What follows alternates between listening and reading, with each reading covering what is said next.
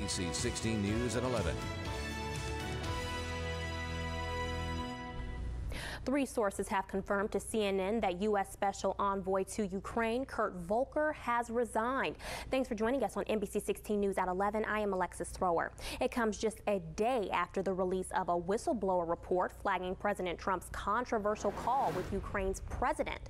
On the call, Trump asked the Ukrainian leader to dig up dirt on Trump's possible 2020 opponent, Joe Biden, and Biden's son.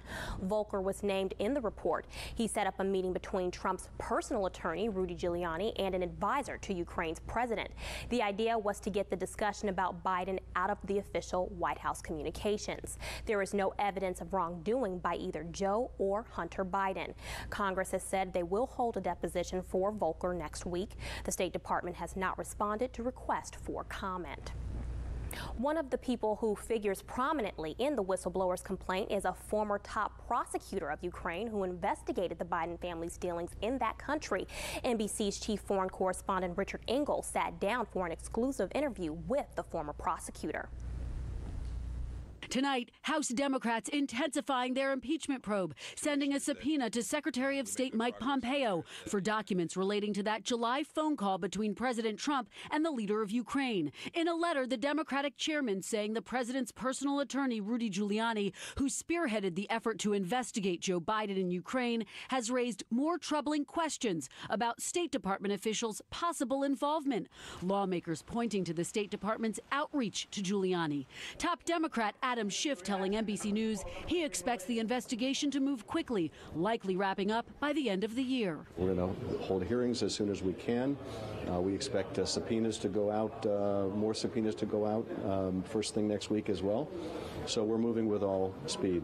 While Republicans tonight trying to discredit the whistleblower. This guy was out to get the president, so he's his motivation. There's there's questions there. His and, and, and certainly didn't have any firsthand knowledge. The president lashing out too in this video obtained by Bloomberg, speaking to American diplomats Thursday. You know what we used to do in the old days when we were smart, right? The spies and treason, right? We used to handle it a little differently than we do now. House Speaker Nancy Pelosi firing back at the president. It's really sad. We have to be very prayerful. And she's also taking aim at the Attorney General, whose Justice Department initially blocked the complaint from Congress. Let me ask you about um, the Attorney General. He's gone rogue. NBC News has learned the president met with NRA Chief Wayne Lapierre. According to the New York Times, there was a discussion about providing financial support for the president's defense, including impeachment. Republican congressional hopefuls from Oregon's District 4 tell us they don't think the impeachment inquiry will affect their 2020 campaigns. Alex Skarlatos and Jo Rae Perkins are both seeking the District 4 nomination to challenge Peter DeFazio in 2020. They say they don't believe there's enough evidence indicating the president has committed impeachable offenses. These comments come on the same day the Lane County Republican Party opened their new office in Pleasant Hill. The local party chair says it's a crucial step step ahead of next year's race. Uh, we're, we're kind of in an area where the uh, opposition is, has been overwhelming for us. And a lot of the Republicans have been, uh, they kind of tucked in and went hiding. Now they're more coming out, and, and uh, it's really good. The primary election for who will face Peter DeFazio for his 4th district seat will be held in May of 2020. Breaking tonight, Springfield police located a stolen vehicle occupied this evening on Beltline and Gateway. When we arrived on the scene, officers were searching the car in the parking lot of an Arco gas station. Officers say there isn't much they can confirm right now as the investigation continues, but they did tell us a person of interest was being questioned. Used needles are being found around Lane County. Residents in Junction City are concerned after finding a number of used needles in public parks where their kids play.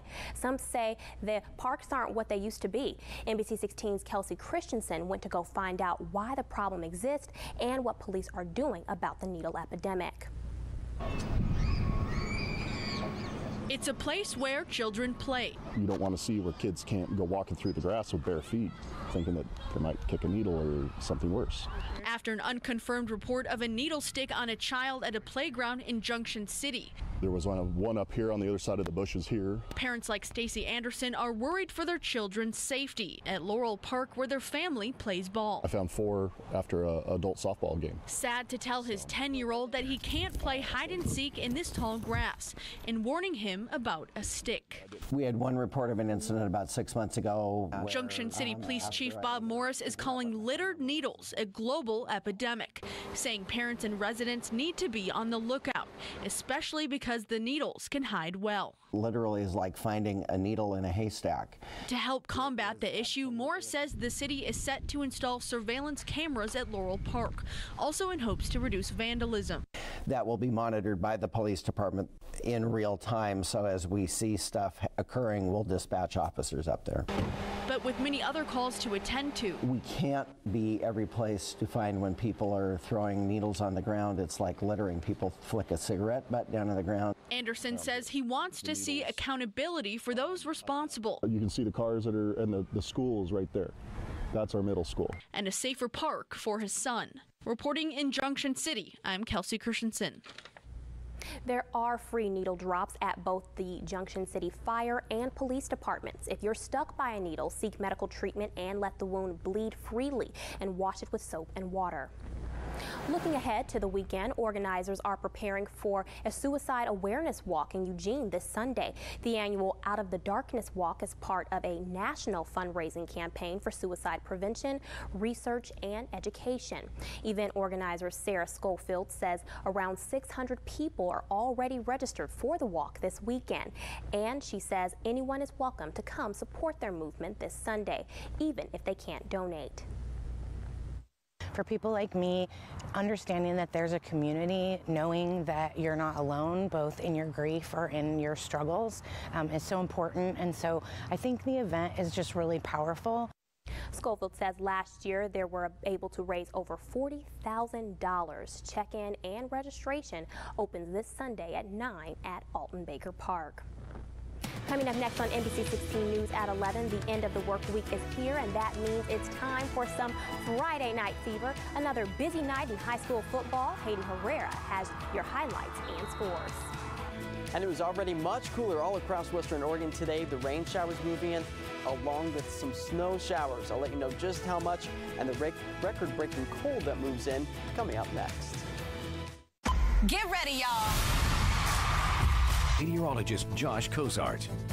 Well, it was another mild day all across western Oregon today as our temperatures managed to warm up into the mid to upper 60s. But right now, yeah, our temperatures dropping back to 52 degrees. Some wet roadways down below, and that will be a trend that we continue to see through the overnight hours. But our passes, yeah, they're getting a little bit on the wintry mix at this point in time through the Willamette Pass. Looks like mostly rain, but take a look at Santiam Pass. Yeah, there's some snow flurries as the winter weather really starts to move in and will be sticking with us for the next several days. But here's our radar and satellite showing that rain line just to the south of the Eugene Cottage Grove area, still tracking its way further to the south and east. But as we zoom in, you'll really get in on some of those snow showers that uh, we're starting to pick up over the Santiam Pass at this point in time. And that will be a trend that we continue to see through the overnight hours tonight. And that has prompted the National Weather Service to put a winter weather advisory in the areas shaded in purple. This is for mainly elevations above 3,500 feet, but will continue for the next several days into our Sunday.